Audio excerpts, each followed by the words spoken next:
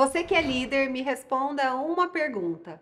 Quantas pessoas na sua empresa fazem um trabalho que não deveria ser feito? Ou quantas pessoas na sua empresa fazem um trabalho que deveria ser feito por outras pessoas? Geralmente pessoas de níveis mais júniores do que o nível dela. Bom, a gente pode pensar sobre os outros, a gente pode olhar, tentar fazer uma estimativa, mas a minha pergunta, na verdade, é para você.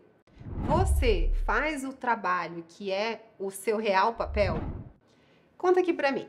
Você sabe que tipo de é, trabalho você deveria estar dedicando o seu tempo? O que, que eu quero dizer com isso? Se você abrir sua agenda hoje, quanto da sua agenda é um trabalho operacional?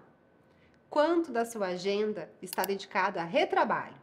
Alinhamento do alinhamento, do reforço da mensagem, porque você não se preparou para alguma situação e não teve uma comunicação tão clara. Quanto do seu trabalho hoje, ou quanto quando você está gerindo as pessoas da sua equipe, você está valorizando as coisas erradas. Então, se você é um diretor e tem líderes abaixo, você está valorizando um resultado de um trabalho operacional que não deveria estar sendo feito por eles. Essa é uma pergunta que a gente precisa se fazer. Em última instância, isso encarece toda a estrutura, porque você remunera ou você recebe, né, é pago, para fazer um trabalho de diretor ou um trabalho de gerente e acaba atuando no nível abaixo. E aí, o que a gente sempre tem que pensar, quando a gente está nos níveis mais altos da liderança e a gente assume trabalhos mais operacionais, quem vai fazer esse trabalho mais estratégico, esse trabalho de direcionamento, esse trabalho de uma boa priorização, de entender ali como remover obstáculos? Provavelmente ninguém. Então esse vídeo de hoje, ele é um vídeo mais para te provocar, te provocar a pensar se você faz o que é esperado para o seu nível, te provocar a pensar se você estabelece e reconhece o trabalho da sua equipe no nível que seria esperado para eles. Ou você pede para sua liderança descer mais um nível, fazer um trabalho mais operacional para garantir aquele resultado de curto prazo. Quanto custa a sua estrutura e o que, que, tá de... o que, que você está deixando de fazer, né? Que não é feito por ninguém. Então, se a gente tivesse como mensurar e medir isso, será que a sua estrutura se pagaria? Será que a sua estrutura faria sentido?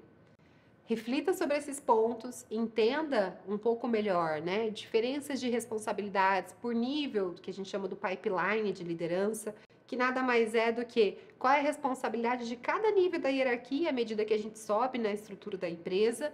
E aí, se você não tiver todas essas respostas, ou se você achar que tem coisa ainda para você atuar de uma forma diferente, para você subir o nível da sua atuação, ou para você exigir da sua equipe um outro nível, você tem dúvidas e pontos a serem resolvidos, eu vou deixar aqui para você uma playlist sobre liderança.